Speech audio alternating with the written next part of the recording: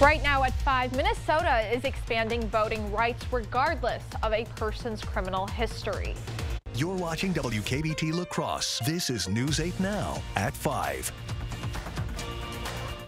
Good evening and thanks for watching News 8 Now at 5. I'm Dua Esrar. Ken is off for the night.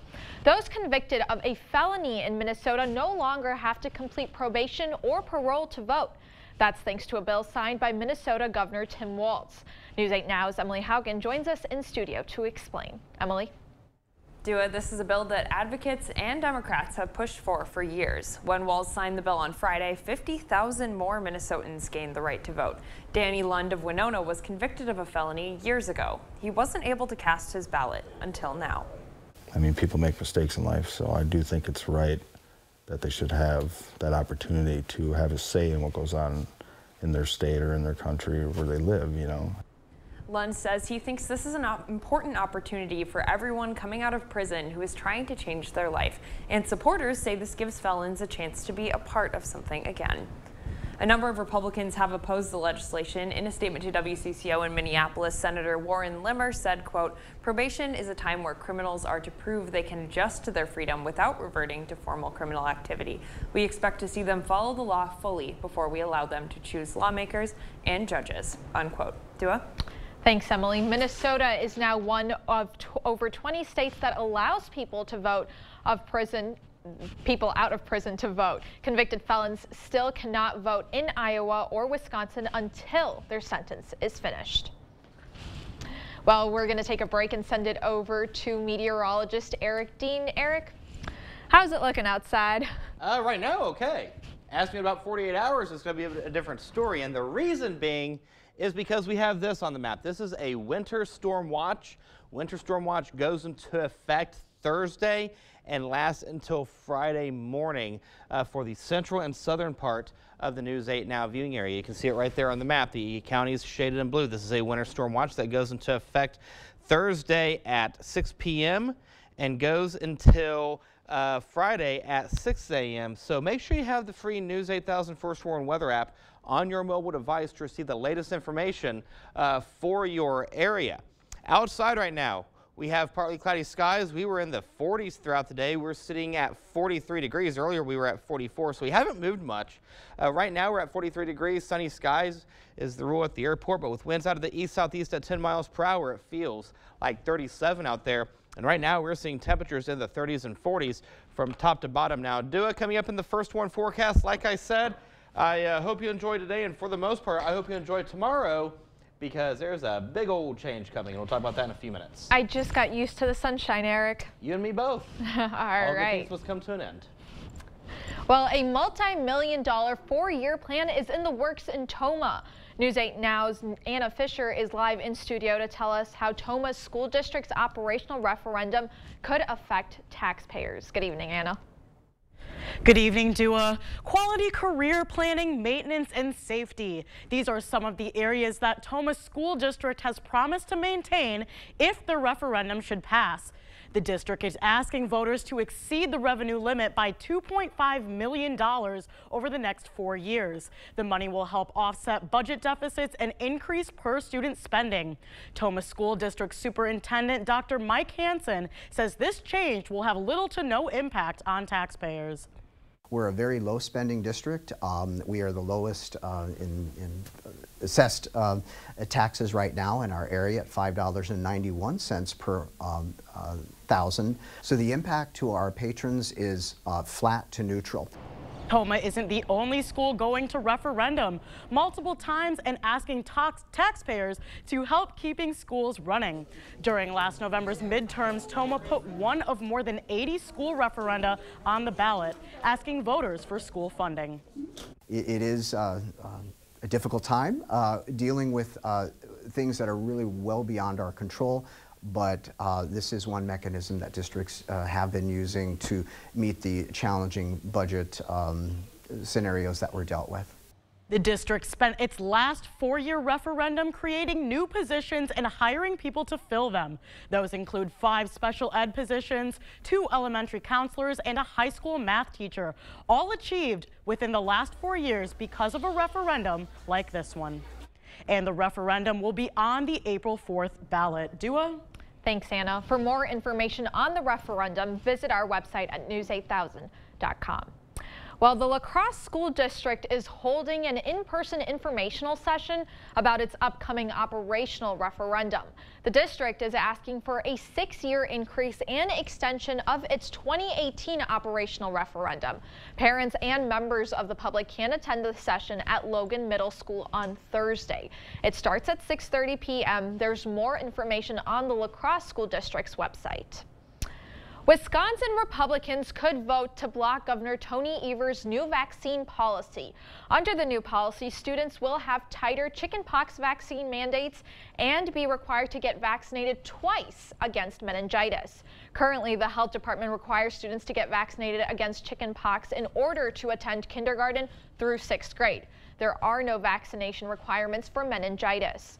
According to the Center for Disease Control and Prevention, nationwide vaccination rates for kindergartners have decreased for two years in a row. The GOP-controlled legislature is expected to vote on the policy in the upcoming days. A big donation is helping bring a proposed All Abilities Park closer to reality. The Holmen Area Foundation presented the North American Squirrel Association with a $10,000 check today. The project will cost about $300,000 and today's boost is helping get the project to $100,000 mark. The All Abilities Playground will be in the Remington Hills Park in Holmen. One of the project's leaders says it's the perfect place to have an accessible playground since the nearest ones are on the south side of La Crosse or in Tomah. Holmen is a growing community and I know that we have children in the district that have special needs and need access to, to park structures like this. We don't have any that are available. Having this in this location with the adequate parking and the, the big space, uh, the flat ground is very important for us. NASA's goal is to have enough funding to get shovels in the ground by next spring and to open the park by the summer of 2024. You can help them reach their goal by making a donation on their website. Well, just ahead, a popular social media app's future is up in the air. Why the American Civil Liberties Union says banning the app may violate the First Amendment. We've done many, many renovations. We bought an old house and have made it into an up-to-date house. Whenever anything involves plumbing, the first call I make is to Maxwell White. Their technicians put together a great final product. Start your children's Christ-centered education with the La Crosse area Lutheran schools. From preschool to high school, our educational programs encourage students to use their God-given abilities to their fullest potential. Your child will experience a safe and caring environment to learn, work, and play all while helping them to achieve and maintain academic excellence. La Crosse Area Lutheran Schools for faith, values, and learning. For more information, go to lutherhigh.org.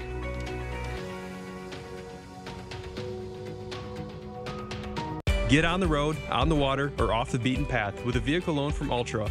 Enjoy low rates, flexible terms, and no payments for 90 days. Apply from anywhere 24 7 with approvals in just minutes. Whether it's a car, truck, RV, boat, or motorcycle, we'll put you in the driver's seat with a monthly payment that fits your budget.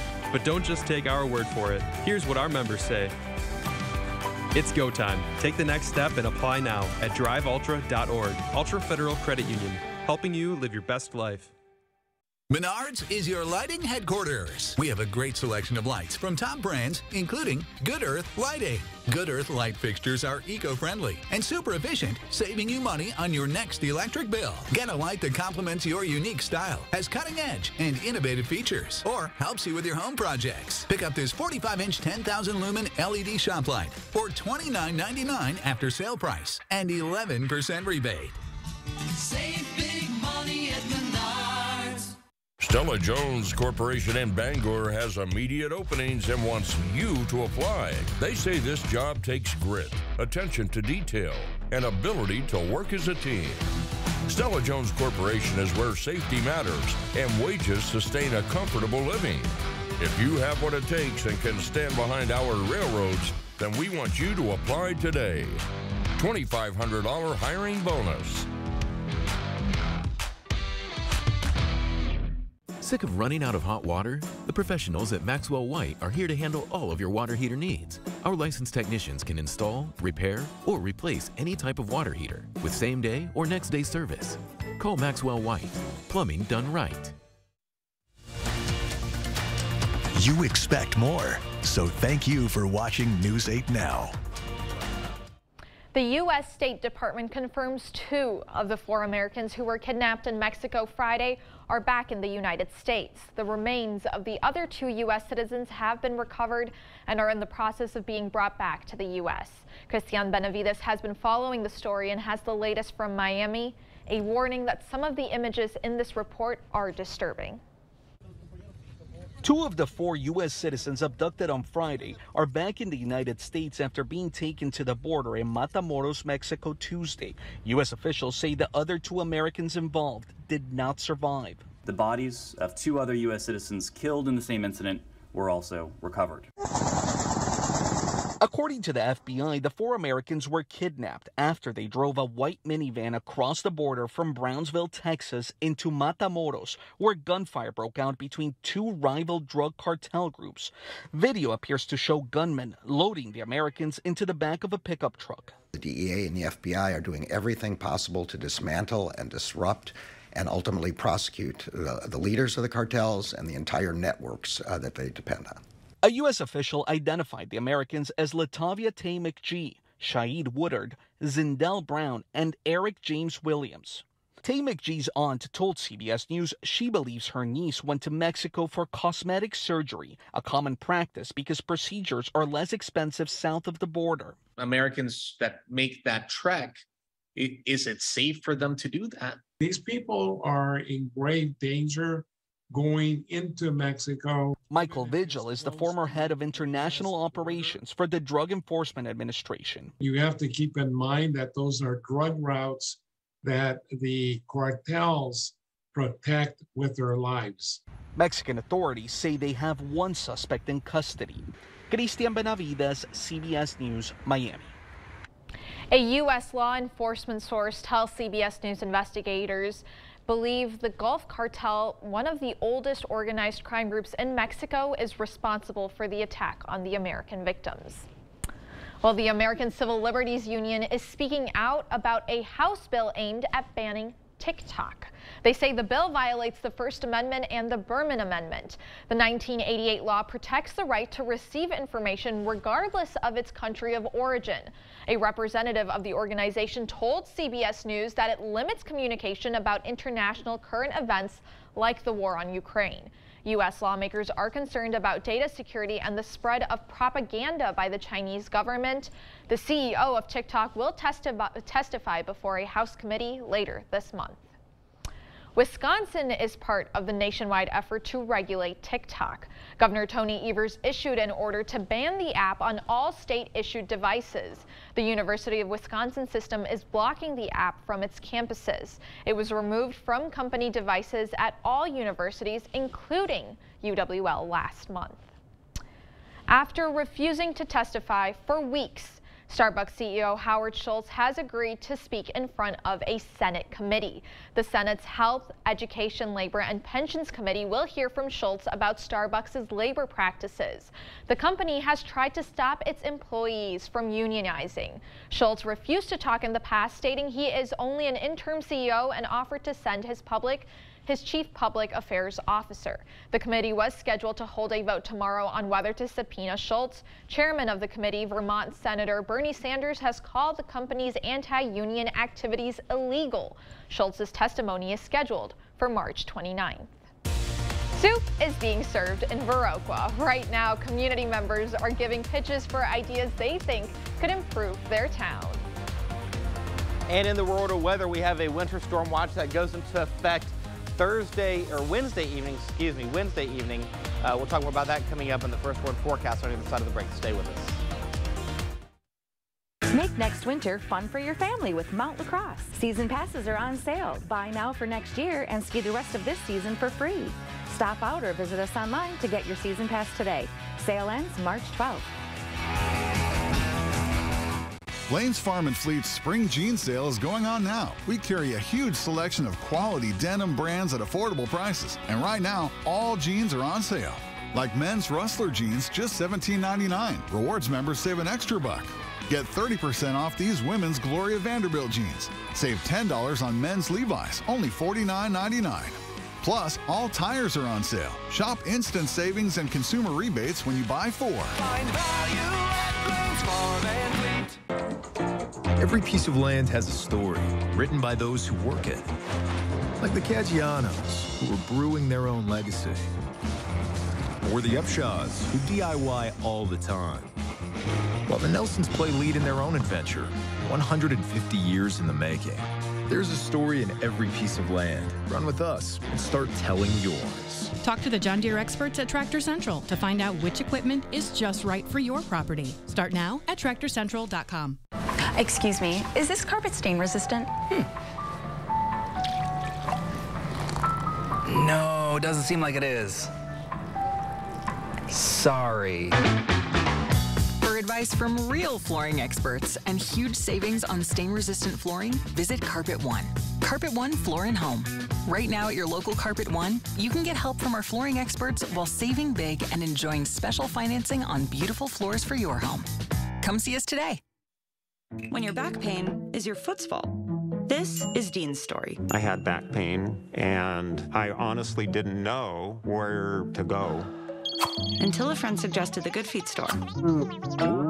She had to explain to me the feet are connected to the back. And get this. As soon as I put on those Good Feet arch supports, the pressure lifted off my back. It's like finding that missing puzzle piece. Like, yes, this is it. Stop by for your free fitting at the Good Feet store. Make next winter fun for your family with Mount Lacrosse. Season passes are on sale. Buy now for next year and ski the rest of this season for free. Stop out or visit us online to get your season pass today. Sale ends March 12th. Stories are told on our Instagram at WKBT News 8. Or you can always find us at news8000.com. Thank you for watching News 8 Now. Expect more. The Viroqua community is eating dinner for a good cause. The community crowdfunding event called Soup is happening right now. And here is a live look at the event at the Viroqua Eagles Club. Folks are pitching their ideas for community projects to be voted on by the community. Attendees will cast their vote for their favorite project over a hot bowl of soup and a fresh piece of bread. If you couldn't make it to tonight's event, stay tuned. We'll have more tonight at 10. And we're going to switch gears and take a look at this weather and the unfortunate news that we're getting more snow. Eric. Yes. So that winter storm watch starts Thursday, not Wednesday. It starts Thursday and goes until Friday uh, for the counties in blue. So from Eau County and south, winter storm watch starts on Thursday and goes until uh, Friday at 6 a.m. So here's what we know so far. Let's go ahead and take a look here at the graphics. What we know, the confidence in the snow across the Coulee region, uh, the confidence in snow across the Coulee region Thursday and Friday, it's pretty darn good. The winter storm watches, like I said, go into effect Thursday afternoon and will last throughout the day Friday. Here's what we need to figure out. The overall timing of this system, the overall track, any shift in any direction with this system will play a big impact as to overall what we'll see. Some places could see more snow, some places could see more rain, some places could see a wintry mix. And the temperature profile, not just here, but you got to go up a little bit uh, to see what's going on in the upper levels of the atmosphere. The reason why we need to figure this out, uh, we have to wait, is because it's still in the Pacific. So it's not even made its way inland yet. And until it does, then we got to wait for a little bit. So one thing you can do to stay ahead of this system Make sure you download the free News 8000 First Warn Weather app on your device uh, to receive the latest information, especially if you are in the areas shaded in blue on that with that winter storm watch. Outside right now, 43 degrees is the current temperature. Feels like 37. Winds are out of the east southeast at 10 miles per hour. In Eau Claire, you have sunny skies. 38 degrees is your current temperature. It feels like 33 with winds out of the east northeast at 7 miles per hour. So let's go ahead and dive into the forecast. First of all, we're seeing the cloud cover start to pick up a little bit. The big picture right now is showing a stationary boundary that's in play, and it's not going to move until our next system pushes its way through. You see associated with that is a low pressure system. Over towards the Dakotas, north South Dakota, seeing a little bit of snow. Uh, that's going to stay off towards the north, but our next weather maker, like I said, is still in the Pacific. So when you wake up in the morning, temperatures in the 30s and or 20s and 30s will greet you, I should say. Uh, we're going to stay below freezing from Black River Falls up towards Ladysmith. By 9 a.m., we'll see temperatures in the 30s. We're going to stay mostly cloudy as we go into the afternoon and evening hours. So you may see a stray snow shower or two across portions of Chippewa, Eau Claire, and Rusk County. And then here's what's going to happen. So here's that system still off in the Pacific. Watch what happens as we go into Wednesday night. See us pushing its way through Wyoming, portions of South Dakota, portions of Minnesota. As we go into Thursday evening, you can see it pushing its way into the Coulee region. And then by Friday late morning, it's out of here. But again, there's still some uncertainty with this, so you really have to keep an eye on this system. So we'll see mostly cloudy skies for tonight, a calm and cool evening. Winds will be out of the east at around 10 to 15 miles per hour. For tomorrow, we'll see temperatures going into the upper 30s by the 10 o'clock hour, low 40s by the noon hour. We'll see that uh, temperature, or the wind, I should say, take more of an easterly approach as we go into the uh, afternoon and early evening hours. So we have the alert days out for Thursday and Friday. Snow chances pick up again Thursday night. Friday, we'll see the snow chance in the morning hours. Saturday, we'll see that temperature of 37. Sunday, we'll go to 38 with a snow chance, and then we'll see those temperatures staying in the upper 30s Monday through Wednesday. But right now, Dua, all eyes are on Thursday night going into Friday morning. All right, sounds good. Yep. Well, when we come back, video stores may be a thing of the past, but one Minnesota town has kept theirs going. Now its owner says it's time to say goodbye. Visit the Early Bird Home Show going on now at the Ford Store Home Improvements. Lowest prices of the year on your 2023 project. Windows, bathrooms, and more. I won't write your will. I don't write contracts. I won't handle your divorce. I do know a few things about personal injury law. All I do is help injured people get the compensation they deserve. At Bye, Goff and Rohde, that's how we get results. Morgan Farmer at Park Bank enjoys working with new and existing business owners to ensure their success. He finds the means to secure loans through the Small Business Administration that enables these businesses to start, expand, and thrive in our communities. Morgan Farmer enjoys helping local businesses, and he also enjoys other things. Visit Morgan at Park Bank to talk about your small business and other things. The 988 Suicide and Crisis Lifeline is here and ready to help.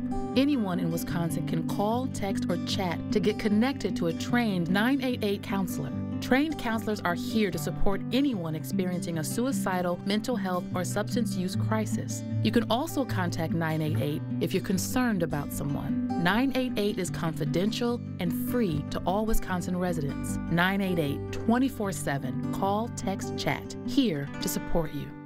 Dan Kelly won't keep our community safe. As a lawyer, Kelly defended child sex predators who posed as ministers in order to prey on vulnerable young girls. They lured young children to locations they believed to be safe only to sexually assault and molest them. And Dan Kelly defended those monsters. Do you want someone like that on the Supreme Court? Dan Kelly, an extremist who doesn't care about us. I've practiced personal injury law for four years. For 20 years. For 32 years. All I do every day is help injured people get the compensation that they deserve. At Bye, Goff and Rohde, that's how we get results.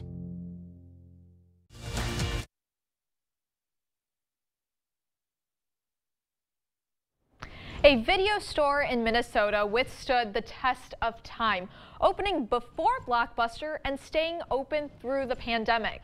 Now it's time to roll the ending credits. Marielle Mohs shows us how the people who work there and their customers kept it alive for so long. You know, we got the dramas here. There's plenty of great dramas. Uh, Troy Raichi can give a review about most of the movies on these shelves. Rain Man is a great one that I can always watch. That's because he's called Video Universe in Robbinsdale home for 29 years. I started uh, when I was 15, actually, and uh, first job. He didn't intend to work here this long, but there was something special about this place he couldn't let go of. You know, the business world was always going to be there after, but this job wasn't. And so I continue to ride the wave. It's instant nostalgia when you walk in here, from the classics on the shelves to the candy that has never been touched by inflation. I guess this is about the last of the dinosaurs here. But after about 40 years in business, the owner is ready to retire, and Troy is anxious to start his second job. It, will make me sad that, that the next generation won't see what a video store is like.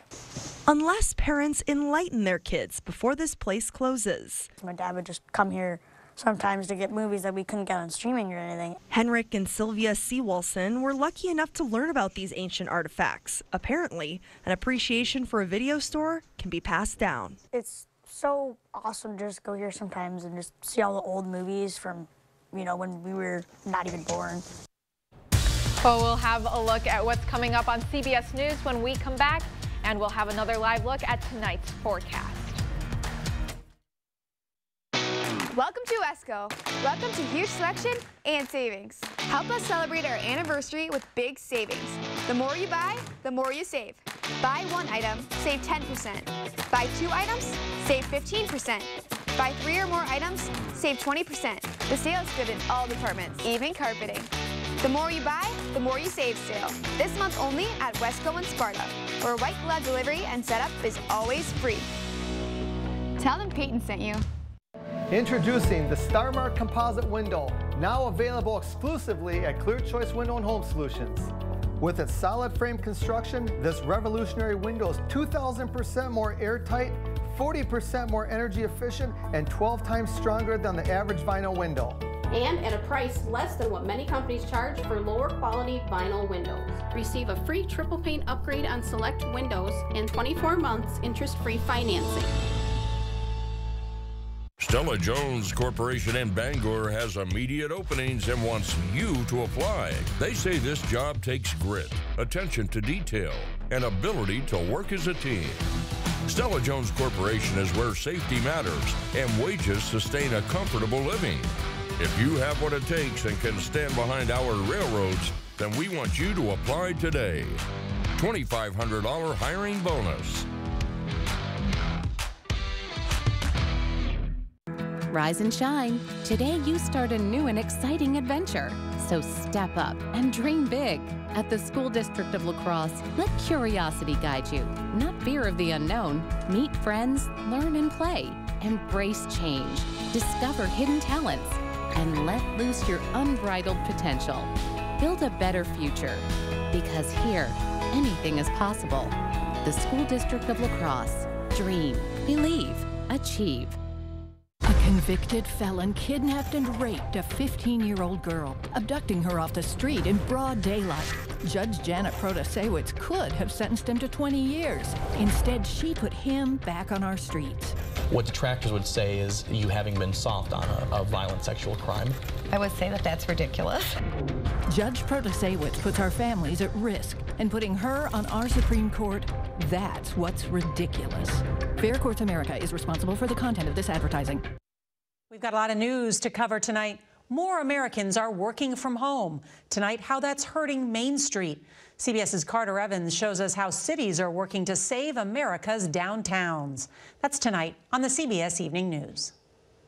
Thank you, Nora. Here's one final look at the next eight days. We go into the mid 40s again tomorrow, upper 30s for Thursday. Keep in mind the alert days for Thursday and Friday as snow chances continue to pick up. That winter storm watch will go into effect Thursday night as well. Sunday, don't forget to set your clocks ahead an hour at 2 a.m. or just do Saturday night before you go to bed as daylight saving time begins.